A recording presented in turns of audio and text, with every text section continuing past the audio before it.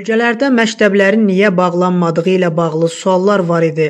Oxu24.com-un məlumatına görə bunu Təhsil naziri Emin Əmrullayev Facebook səhifəsində pandemiya dövründə tədrisin təşkilinə həsr olunan canlı yayımda bildirib.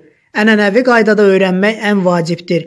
Müəllimlər də böyük risklərlə üz-üzə qalır, amma onlar şagirdlərin öyrənməsi üçün çalışırlar. Onların əksəriyyəti də şagirdlərə üz-üzə dərs keçməyin tərəfdarıdır. Təbii ki, statistika izlənir, ayrı-ayrı yerlərdə risk olarsa distant təhsilə keçiləcək.